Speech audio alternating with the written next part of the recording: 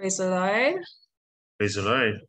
Praise the the Lord. Lord. Praise the Lord. Praise the Lord. Lord, praise the Lord. Praise the Lord.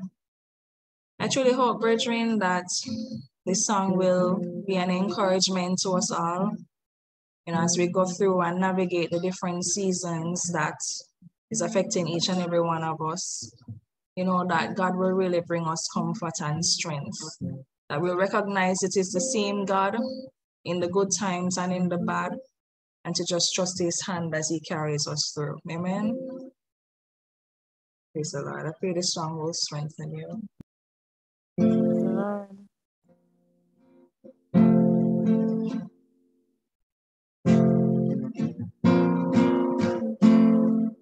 Life is easy when you're up on the mountain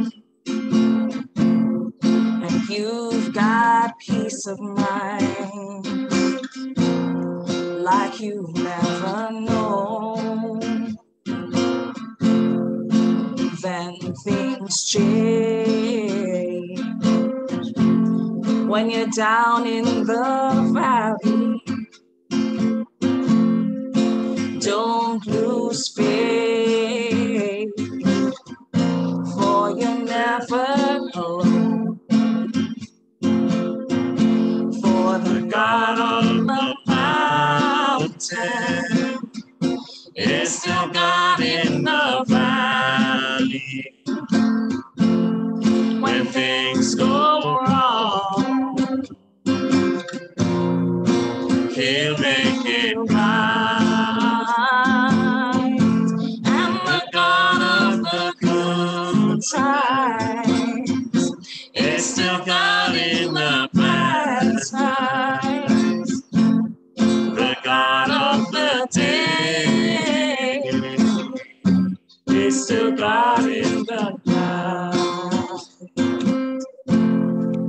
Life is easy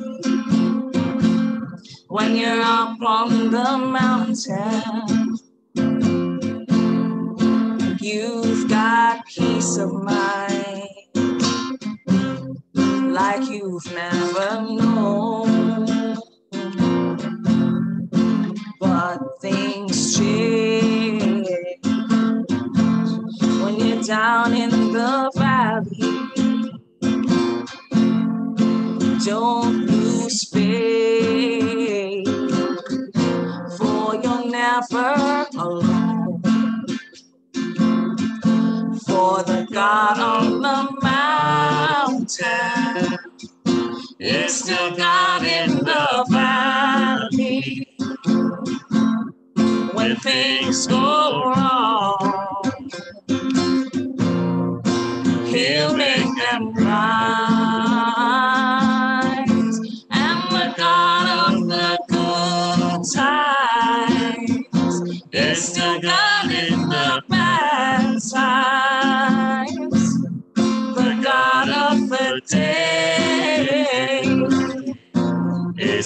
God in the night.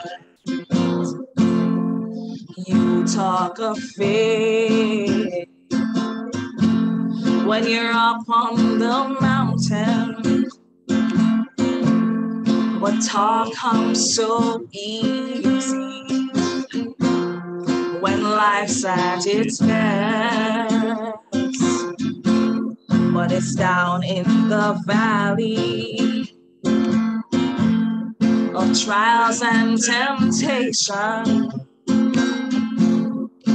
That's when your faith is really put to the test.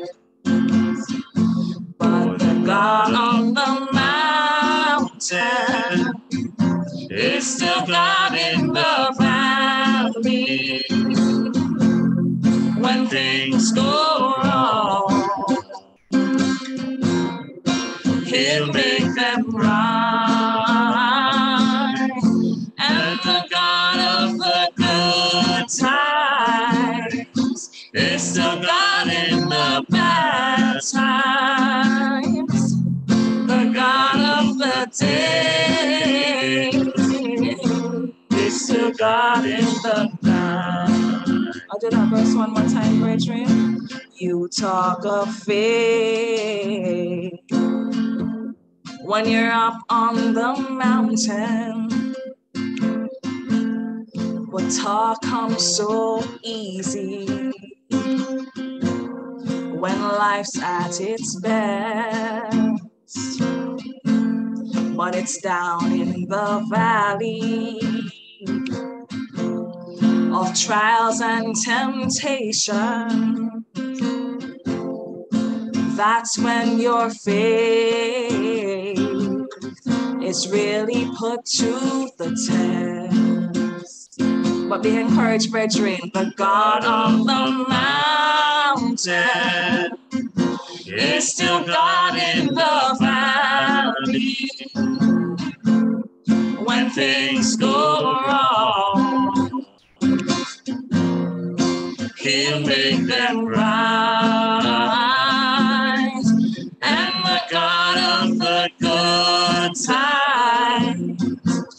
Is still God in the bad times.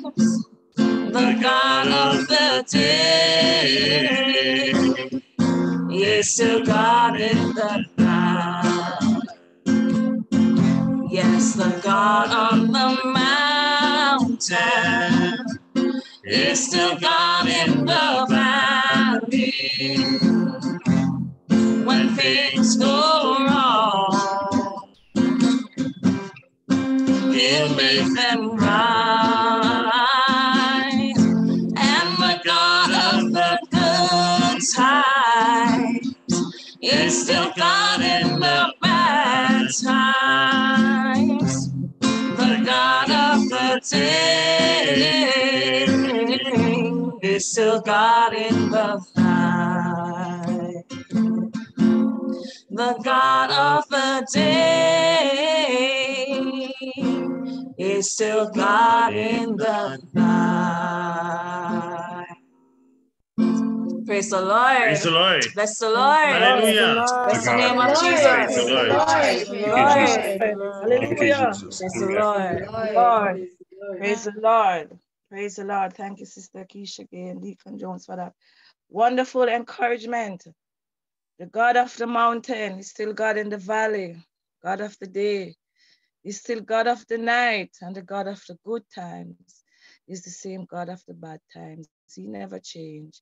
And whatever season comes around, He's always there for us. The scripture says that we must take up our cross and follow Him. And sometimes things are really gonna get rough, but God will never leave us. And I just want to encourage each and every one of us tonight that God is able. He's God for everything, for every season, for every problem, for every situation. Praise the Lord. And I just want to now welcome our visitors tonight. And I pray that um, if you're not saved, that you will truly think, you know, and, and come under the umbrella of God, that He can really charter your life and carry you through. Hallelujah. You don't have to be out there on your own, but He goes before and He carries and He delivers and He counsels and He saves most of all. Save you, give you eternal life deliver you from sin and death. This is the God we are talking about, and we are serving and we are worshiping and we're glorifying tonight. The God who is able to deliver, keep, and save. Just want to encourage everyone. I want to en- encourage Deacon Brown, Anthony Brown. I want to encourage Rafik. You know, I want to encourage Sister Anika. Hallelujah. Yes, I just want to encourage you all tonight, Pastor Jody, myself, everybody that God is able. We just want to thank Him for all that He has done to us and for us so far. All the prayers that have gone up, His presence and His anointing and His power that He has made available to us tonight. Praise the Lord, brethren. Praise the Lord. Praise the Lord. Praise the Lord. Praise the Lord. Praise the Lord. Praise the Lord. Yes, I now present to you our evangelist Garwin Price as he come forward with whatever God laid on his heart for, to tell us tonight. And we pray that we'll receive it, open our hearts and our minds, and let the word sink and take root, that we can truly bear fruit and live as how God would want us to live. Praise the Lord. Praise the Lord. Bless the name of the Lord. Praise the Lord. Praise the Lord. Bless your name, Jesus. Praise the Lord. Bless your name, Jesus. Bless your name, Jesus. Praise the Lord. Praise the Lord, Bridget. Um, I greet you in the matchless, wonderful, precious, and loving name of our Lord and Savior Jesus Christ. Um, I want to thank Sister Michelle for, for leading the service thus far. I want to greet our pastor and his family, or deacon and his family, visitors and, and brethren, I greet you in the name of Jesus. And I pray that the Spirit of God will just truly just take control uh, with this very short message that I have um, for us tonight. Um, before I start, I just want to thank God for the testimonies. You know, it's it it's it's encouraging when we have brethren who are willing or are able to give God glory, even before the deliverance comes. There is something about it that is encouraging because it, it, it means to us that if we are going through a situation, you know, truly God doesn't forsake us. Um, truly we can still put our faith and our hope and our trust in God because we've seen brethren who, while they were going through, still rejoiced in God. And so it's encouraging when I hear, you know, um, Rafiq and Jody and people like Sister Norma and Pastor give their testimonies and others too that that uh, uh, about what God is doing for them, even though they aren't fully out of the woods yet, you know. So I, I give God thanks for that, and I pray that you know, as we've said, you know, when we go through our situations, these testimonies will wrap back in our minds, and you know, they will be good examples for us as believers that you know this Amen. is how we how we got through. You know, this I, I see how Jody went through when she was going through her thing and she got the victory. So same thing for us. Praise the Lord. I I don't Praise plan to be long. I don't plan to be long, Bridget. Praise the Lord.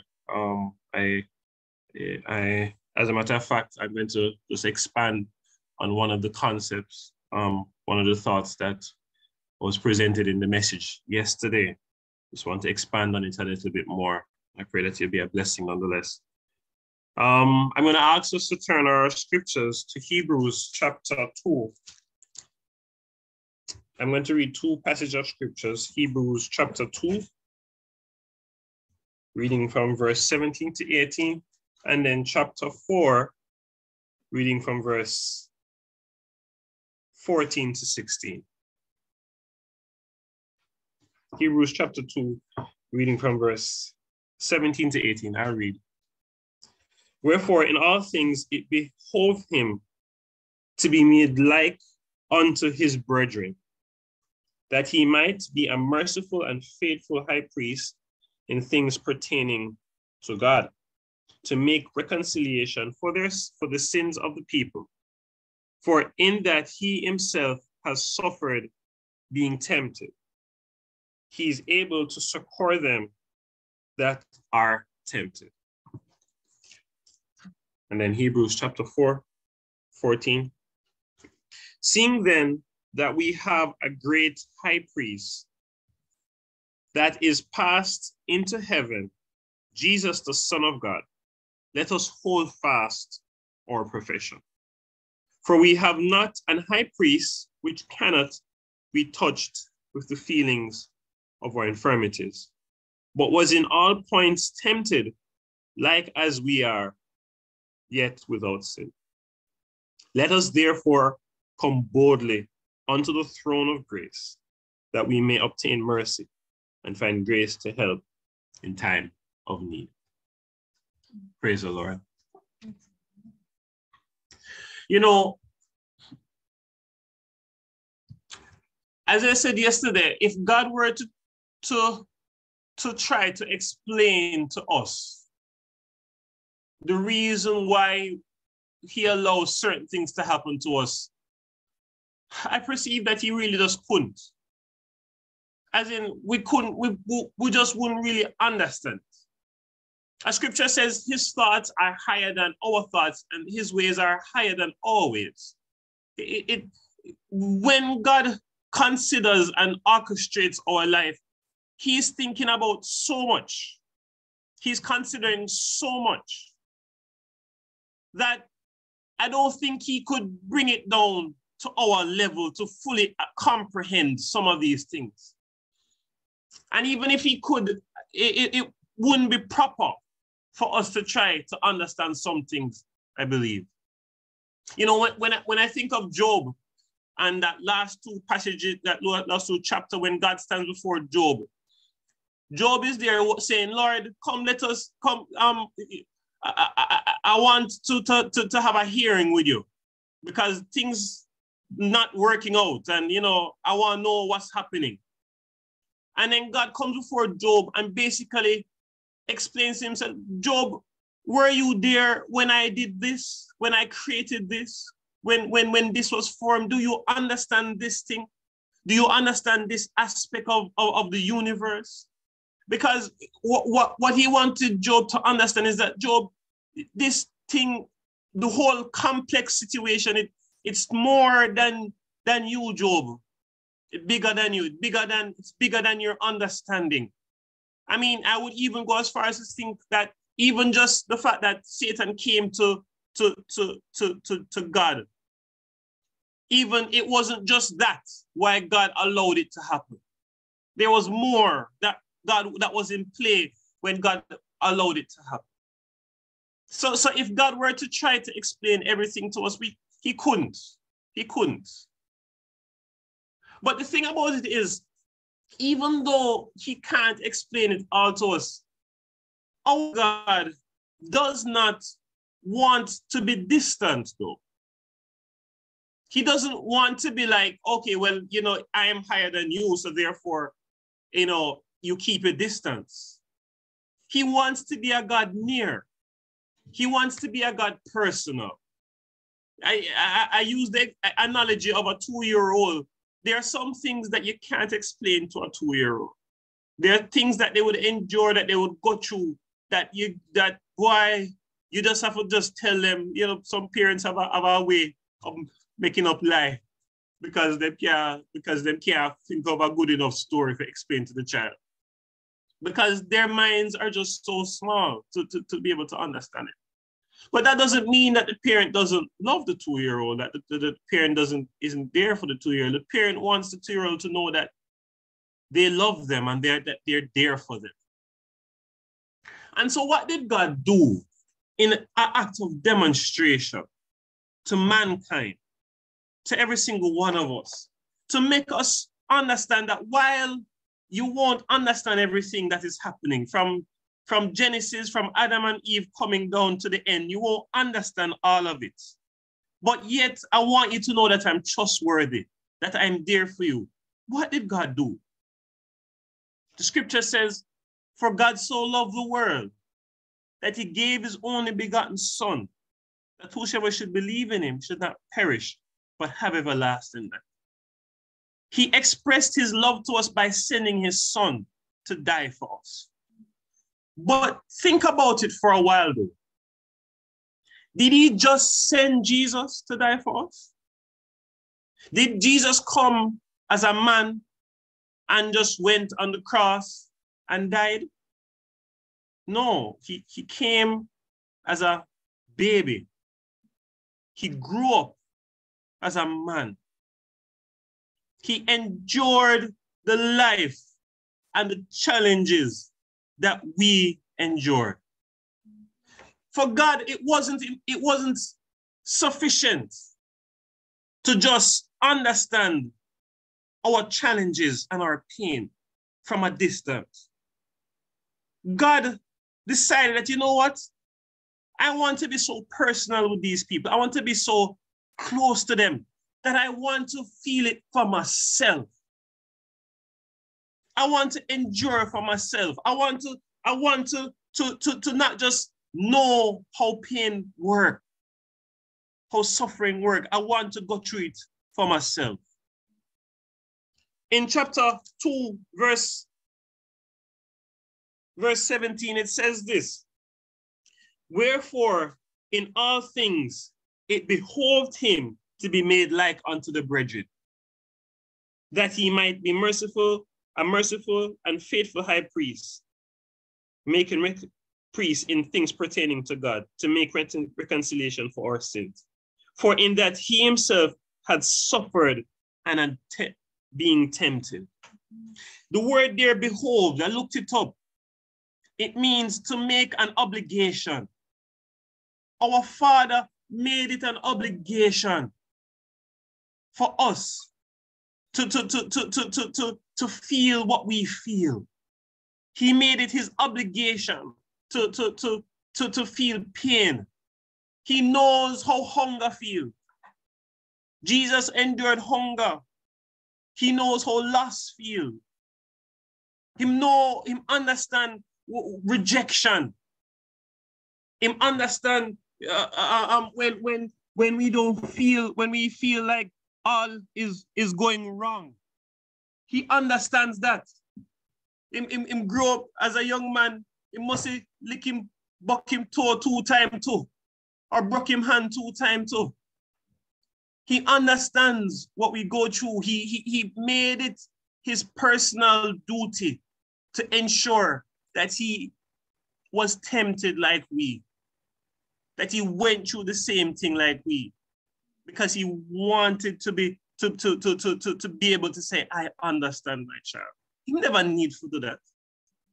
I we do we think that he needed to, to go through this to, to understand he's the sovereign God. He understands all things. He he he he was perfect. He he is perfect understanding, perfect knowledge before he came. But he didn't want to just know, he wanted to endure it himself. He wanted to feel our pain. Verse, verse, verse 15 says, verse 15 of chapter 4 says, For we have not an high priest which cannot be touched with the feeling of our infirmities. That's not our God. If you want to know one difference between our God and other gods out there, our God is so desiring to be so personal with us that he came to the earth as a man. He, he, he, he, he endured the same problems that we endure, the same challenges. He endured it so that he know for a fact how it go. So that as our high priest, he, he, he can represent us. Amen. He was there with us, Bridget. And so, and so it, it there's a sense of encouragement that we should have because it means that that my Jesus knows. He knows. He know the pain. He know. He he he he he knows the suffering. He knows the, the feeling of rejection. He knows the feeling of sorrow. A scripture says, a man of sorrow, acquainted with grief. God ensured that that him him make him born in poverty. So him know how poverty feel. Him, him, him, him, him, him, him make him born in in in in in, in trouble, in in in in in in in in in a rough time. So him know how all of these things feel. Bridget, he was made like unto us so that he could endure the same things that we endure. That's the God we serve. And so, Bridget, I just want to encourage us to trust him because it's not that he doesn't understand. It's not that he he he he, he doesn't care. It's, it's not anything like that. He so much wants to know, wants to know that he understands that he came to the earth to be like one of us so that we can see him as an example and know that yes, Jesus knows. I give God thanks for it. And so I just put that into your mind, Bridget, that, you know, he became like one of us. He endured all the things that we endured, pain and the suffering, the problems so that he can be personal. You can trust him, Bridget. It says in verse 16, Let us therefore, because we have such a wonderful high priest, because we have such a wonderful example, let us therefore come boldly unto him. Him understand, he understands. So we can come boldly to the throne of grace and obtain mercy and find help in times of need. That's the God we serve. Praise the Lord. I give God thanks for this. I pray that that will just that thought will just linger in your mind as you pray and as you seek God going forward, Bridget. Amen. These are my few words to you in Jesus' name. Praise the Lord. Praise the Lord. Praise the Lord. Praise the Lord. Praise the Lord. Praise the Lord. Praise the Lord. Praise the Lord. Praise the Lord. Praise God. Want to thank the Lord again for reminding us again through his words today, through his servant, Evangelist Price, that he understands everything that we're going through. As he says, he knows poverty, he knows how poverty feels, he knows how a rough time feels. He was born, you know, he took on flesh, amen. So he went through it. So he is there for us physically and spiritually. So the situation is more than us. Virgin for real, sometimes we don't really understand. And sometimes we get anxious, you know, and sometimes we question why, but we don't understand. Sometimes it's, it's not that it's not punish God punishing us, you know. It's just the way God working things. And, and that is why the stories are there with Job. And so that's we know that there are times, these times are gonna come, but God never changed. He says the protection of his child and treasure is a charge that on himself he laid. He is responsible for us. We are not on our own. Hallelujah. He is responsible for us. And as Brother Gowan says, he wants to be near and he wants to be personal. We have to just um, take our road with confidence. Amen. Our own little walk, our own little road. And, and meet God and wrestle with him like Jacob. Hallelujah. Power with man and power with God. You get power to pray and power to believe. Your faith lifted and your trust lifted. It says, a higher plane than I have found. Hallelujah. Lord, plant Hallelujah, my feet. Hallelujah, on higher ground. Praise the Lord. I just want to thank God tonight for encouraging us tonight again. You know, he, he, he, he is trustworthy. And as Brother God said, he is there for us. He's there for us individually and collectively. He's there for you, Sister Jackie. He's there for you, Sister Jody. He's there for your brother Rafik. He's there for your um, sister Melissa, our visitor. He's there for all of us. Hallelujah. And he's faithful to his word and he will come through. And whatever need we need, he will supply. And if it's just to go through it, he might go give us the strength to go through it. That's the God we serve. Awesome God, Amen. faithful God, faithful God. You know, say we have an high priest that with, with, for we have not an high priest which cannot be touched with the feeling of our infirmities, but was in all points tempted as we are, yet without sin. He knows everything. He knows everything. His mercies are new every morning. Great is his faithfulness towards us. Let us have hope. Raise our hope. Father, raise our hope in you. Raise our faith in thee so that we can truly please you you know, brethren, you know, it is a, it's a great, it's a big thing to please the Lord when we are going through our trials. When we're up on the mountain and we're down in the valley, Amen. when we're going through the night, hallelujah, we must think about him same way. We must love him same way. We must Amen. trust him same way.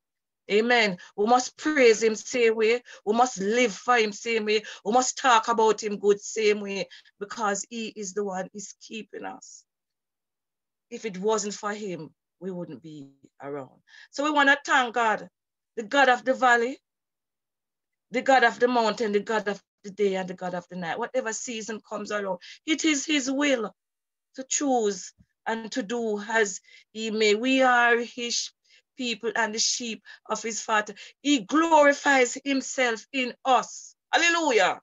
And however he chooses to glorify himself, that's how he chooses to do it. So let us just settle, brethren, in Zion, you know, be still as the scripture said, and know that I am God. He is able and he's going to bring us through.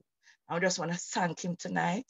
And I pray that, that as we go through this month of prayer, that we truly seek God and ask him to give us the wisdom and the understanding of his will in our life. As he works out thing, things for us, let us just glorify him and see the victory. He said Moses, stand still and see, hallelujah, the salvation of the Lord. Sometimes we're up, sometimes we're down, but God remains the same and He is gonna bring us through. I'm encouraged tonight, yes, by these words as we're all going through. But our God, hallelujah, is more than able and willing and just and true to stay true to His word and will never leave us nor forsake us. Praise the Lord. Praise the Lord. Praise the Lord. Praise the Lord. Praise the Lord.